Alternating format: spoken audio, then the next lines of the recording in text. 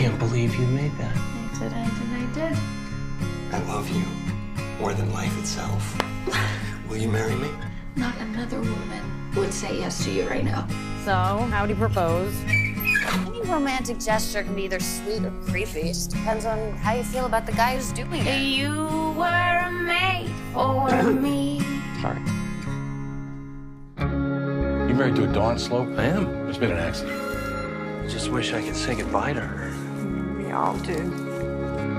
I can't live without her. Well, you can't live with her. I guess God just couldn't wait to have her back. What if I told you we could have her back? I could clone her. It's against nature. Your wife? She's gone. Not completely. Welcome back. I'm not in love with you. It didn't work. Genetics is just part of what makes us who we are. You want me to raise her? Oh, God. I tried over and over and over again.